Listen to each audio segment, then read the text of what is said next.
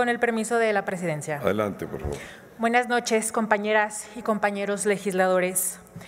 Hoy, una vez más, se está apostando al populismo penal y a las soluciones cosméticas ante problemas de fondo. Esta reforma está criminalizando el uso de percusores químicos.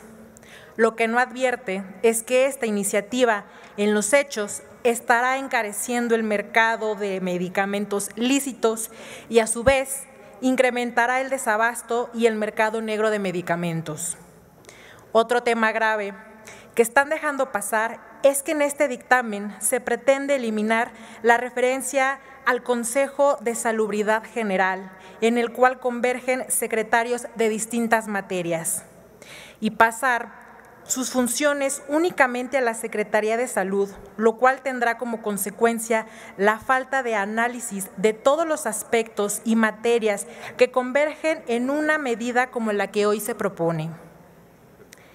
Dada la gravedad de lo anterior, es que presentamos esta reserva en el tenor de regresar al Consejo sus facultades, concentrar los procesos que le corresponden a diversas autoridades y concentrarlos en uno solo es un grave error. La producción de narcóticos, ahora solamente drogas sintéticas, como se pretende establecer, no es una cuestión exclusiva del ámbito penal y de la salud se trata de cuestiones regulatorias de medio ambiente, de economía, de educación y de desarrollo social. Por ello, es importante que no se deslinde de sus funciones al Consejo de Salubridad. Compañeras y compañeros diputados, en la bancada naranja estamos a favor de legislar para detener la producción ilegal de drogas sintéticas, pero no estamos de acuerdo en hacerlo de esta manera reactiva e irresponsable, en la que por el contrario ponemos en riesgo la producción legal de medicamentos. No podemos seguir pretendiendo combatir este grave problema únicamente con más penas, con más punitivismo y con más militarización.